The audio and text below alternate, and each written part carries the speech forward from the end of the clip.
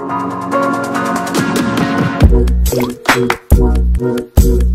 you.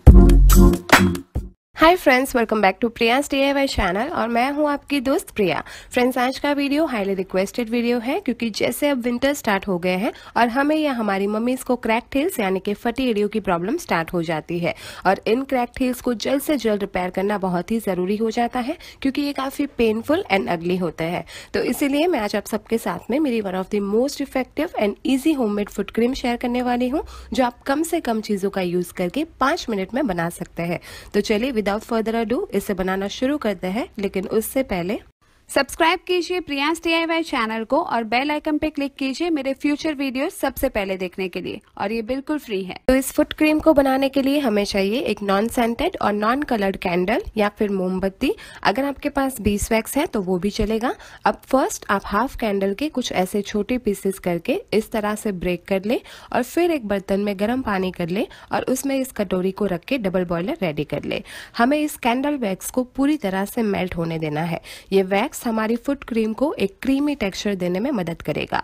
अब दो minute बाद जब ये मेल्ट हो जाए, तब इसमें एक बड़ा स्पून गाय का घी या फिर होममेड घी ऐड करें। ट्रस्ट में गाइस, घी आपके जितने भी ज़्यादा या पेनफुल क्रैक टेल्स है या फटी एरिया है, उन्हें किसी भी और चीज़ की कंपैरिजन में तेज़ी से रिपेयर करके स्किन को सॉफ्ट एंड क्रैक टेल्स को रिपेयर करेगा। फिर ऐड करें चार से पाँच स्पून ब्लैक सीड ऑयल इसकी जगह आप कोकोनट ऑयल भी ले सकते हैं। ये ऑयल स्किन में डीपली पेनिट्रेट होकर स्किन को मॉइस्चराइज करता है और क्रैक टील्स को भी तेज़ी से भरता है।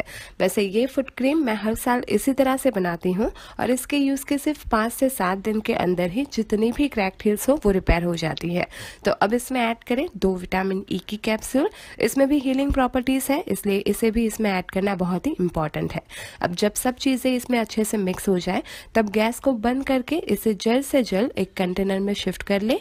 ये 15 से 20 मिनट में ही थिक क्रीम कंसिस्टेंसी में आ जाती है। अब इसका यूज़ करने से पहले आप एक बकेट में गर्म पानी लेके उसमें एक चम्मच नमक ऐड करें और हाफ़ लेमन स्क्वीज करके छिड़के के साथ उसे भी बकेट में ऐड कर ले। अब इस पानी में आप अपने फीट को 10 से 15 मिनट तक स्टीम लेने दें, जिससे डेड स्किन निकलने में आसानी हो। और 15 मिनट बाद प्यूमिक स्टोन की हेल्प से अपने डेड स्किन को रिमूव कर ले। इस प्रोसेस को आपको हर दो तीन दिनों में रिपीट करना होगा। अब पैरों को ड्राई करने के बाद इस क्रीम को रात को सोने से पहले अपने एडियो पे लगा के एक से दो मिनट तक मसाज करें और कोई भी ओल्ड सॉक्स पहन ले, जिससे रात भर ये क्रीम आपके पैरों में लगी रहे। इस क्रीम के फ़र्स्ट और सेकेंड यूज़ से ही आपको आपकी फटी के पेन से छुटकारा मिल जाएगा और तीन से सात दिनों के रेगुलर यूज़ से आपकी फटी एरिया नेचुरली रिपेयर होकर स्किन सॉफ्ट एंड स्मूथ हो जाएगी। सो so फ्रेंड्स ये थी मेरी आज की फटी एरियो से छुटकारा पाने की आसान से होम रेमेडी अगर आपको ये वीडियो हेल्पफुल लगा है तो इसे लाइक करना ना भूले। साथ ही ये रेमेडी आपको कैसे लगी, ये मुझे कॉमेंट सेक्शन में बता के इस वीडियो को व्हाट्सएप इंस्टाग्राम और फेसबुक पे शेयर करना तो बिल्कुल भी ना भूले, जिससे ज़्यादा से ज़्यादा लोगों को इससे फ़ायदा मिल सके। और अगर आपने अभी तक मेरे चैनल को सब्सक्राइब नहीं किया है तो प्लीज़ सब्सक्राइब कर ले, जिससे मेरा एक भी वीडियो आप मिस ना करें।